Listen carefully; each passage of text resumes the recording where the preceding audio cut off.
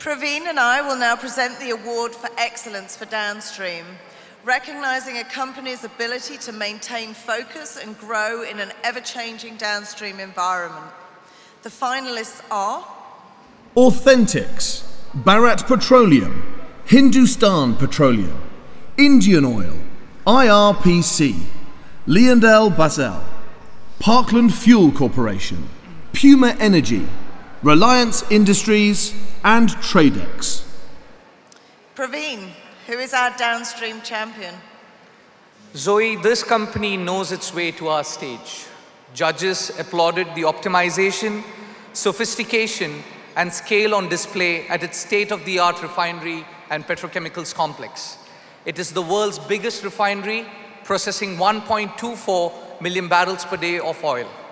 The company used its large, high-value capacity as a springboard into value-added petrochemicals. It commissioned the world's largest refinery off-gas cracker complex with a unique configuration using off-gases from its refineries as feedstock.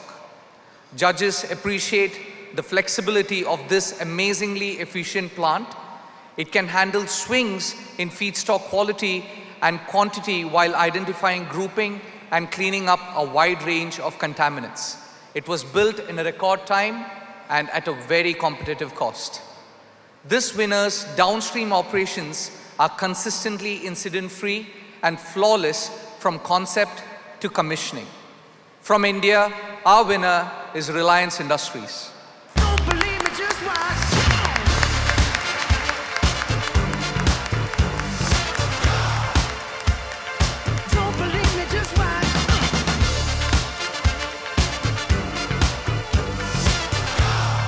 Sincere thanks to Platts and all the judges for uh, giving us this one. I accept this on behalf of all my colleagues back home in India. Thank you.